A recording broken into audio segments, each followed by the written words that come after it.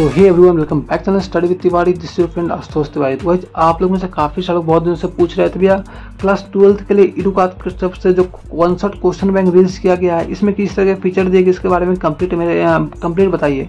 तो इसके, आज की वीडियो में इसका रिव्यू करने वाले हैं। एंड इसका बाय लिंक में ऑलरेडी डिस्क्रिप्शन में डाल चुका हूँ एंड नेक्स्ट वीडियो में मैं सारे सब्जेक्ट का रिव्यू इस तरह करने वाला हूँ। तो अभी तक आप स्टडी तो सब्सक्राइब को सब्सक्राइब कर बेलक में ऑल पेड कर लो। आपको पता है कि यहाँ पर चैनल पर इस तरह के वीडियो लाते रहते हैं एंड डिस्क्रिप्शन में बाई लिंक है अभी तो आपको ये बुक काफ़ी लोएस्ट प्राइस में देखने को मिल जाता है सारे सब्जेक्ट का तो आप लोग वहाँ जाकर परचेज भी कर सकते हो। तो जैसे कि बात करती है इस बुक के बारे में तो भाई ये आपका फिजिक्स का क्वेश्चन बैंक है, जो कि वन शॉट है एंड ट्वेंटी फाइव के लिए बुक आपका डिज़ाइन किया गया है। इसमें चैप्टर वाइज किस तरह के फीचर दिए गए सब कुछ चलिए आप लोग को कंप्लीट स्टेप वाइज आप लोग को दिखाते हैं। एंड ये बुक आपको न्यू एनसीईआरटी जो आए उसके अकॉर्डिंग इसको डिज़ाइन किया गया एंड बिल्कुल आपके बोर्ड के अकॉर्डिंग इस बुक को डिज़ाइन किया गया है। तो ये रहा आपका सिलेबस ट्वेंटी का। ये रहा आपको चैप्टर वाइज कौन सा पेज पे कौन सा सिलेबस है, जो कि इंटेक्स्ट पेज है। एंड ये रहा आपका चैप्टर वाइज यहाँ पे माइंड मैप्स के बारे में। तो ये आप लोग देखो तो electric charge and electric field जो आपका चैप्टर है, इसका माइंड मैप दिया गया मतलब आप लोग एक से दो घंटे में अगर एग्ज़ाम से पहले भी रिवाइज करना चाहते हो तो पाँच से दस मिनट में इस कंप्लीट इसको एक चैप्टर का रिवाइज कर सकते हो एंड एक से दो घंटे में आप लोग क्लास ट्वेल्थ के पूरे फिजिक्स को इन माइंड मैप्स के हेल्प लोग रिवाइज कर सकते हो।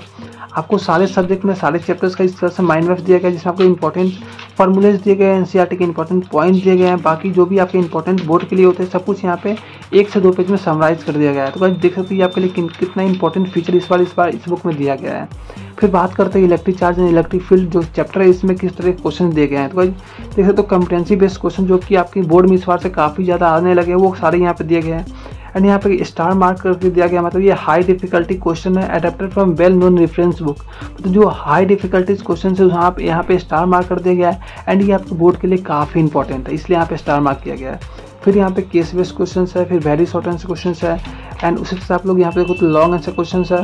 एंड जैसे कि बात की N C R T N C R T example Diksha platform यहाँ से बहुत सारे क्वेश्चन आते हैं आपके बोर्ड में। तो सारे प्लेटफॉर्म के क्वेश्चन भी यहाँ पे डाल दिए गए हैं।